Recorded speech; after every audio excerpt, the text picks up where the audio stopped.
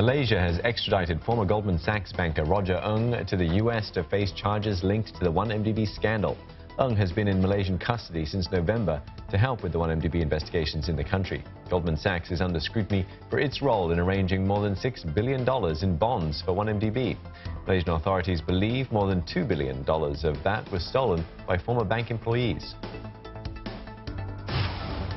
Foxconn chairman Terry Gou says he wants to play peacemaker between the U.S., China and Taiwan.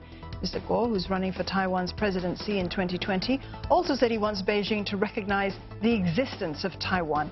He spoke to the media after meeting with President Donald Trump in Washington last week. He says he met Mr. Trump in a private capacity and not as a campaigner.